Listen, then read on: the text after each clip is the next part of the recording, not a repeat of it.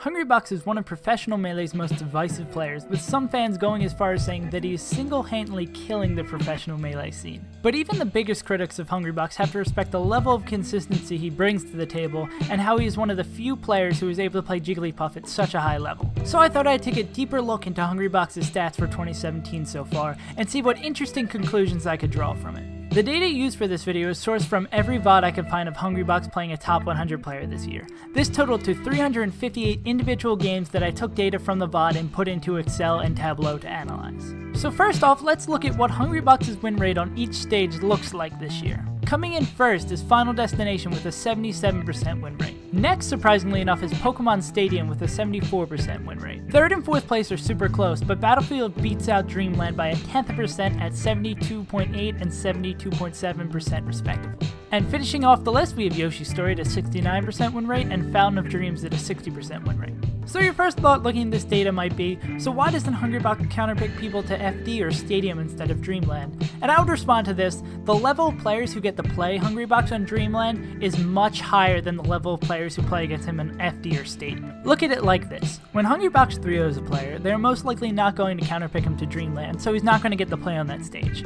And in turn this will fluff his win rates on stages that he gets counterpicked to, like Stadium. But when Hungrybox faces a player who's able to take a game off him, he's most likely going to take this higher caliber player to Dreamland. You can see this from the count of what game in a set that Stadium takes place on versus what game in a set Dreamland takes place on. Stadium matches almost exclusively take place on games 2 and 3 because after winning game 1, HBox is very likely to be counterpicked to stages like FD and Pokemon Stadium, and if the players lose game 2, they're more likely to pick Stadium again or switch over to FD, which is why these win rates are inflated whereas the Dreamland game count is more evenly spread between games 2, 3, and 4, which is affected by when Hungrybox loses his first game in a set. Next, let's look on how close Hungrybox games are on average. For this analyzation, the closeness of a game is going to be determined by how many stocks on average Hungrybox has left at the end of the game. By stage, the difference between stocks remaining is pretty much negligible besides Fountain of Dreams, which has much closer games on it, most likely due to the fact that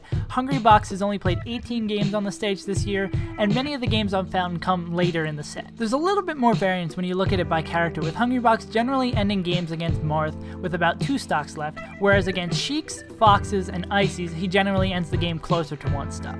And then when we go even further and look at the closeness of the game by player, it's no surprise that Hungrybox has his closest games against Mango and Armada, with the closeness of SFAT and Leffen being not too far behind. Interestingly, Plup and Mew2King have the exact same level of closeness against Hungrybox this year, even though Mew2King is 5 and 6 against him, and Plup is 2 and 9. It's also important to look at the highs and the lows when observing data, which in this case would be 4 stocks. Hungrybox has had an impressive 6 4 stocks against top 100 players this year, with his most notable ones being against Mew2King at Frame Perfect 2 and S2J at the Spring Smash Summit. Hungrybox himself has also never been 4 stocks so far this year, and has only been 3 stocks a total of 9 times so far, with Mew2King and Plup doing it 3 and 2 times respectively, and Duck being the only one to do it on a character other than Fox.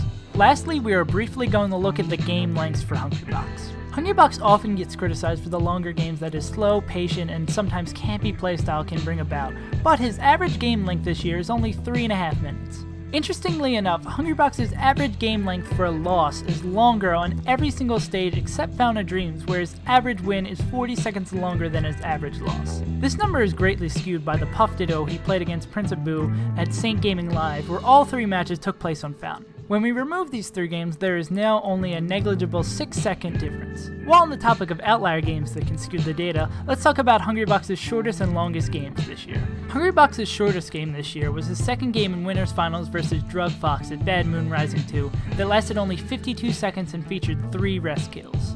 On the flip side of this, Hungrybox has been a part of three timeouts this year, two of which he won against Chudat that both happened in Game 5 of their respective sets at Genesis and DreamHack, and one which he lost against Wizzy at Smash Rivals. So yeah, this is most of the interesting information I got from analyzing Hungrybox so far this year. So now I turn the question over to you. Who would you like to see me analyze next?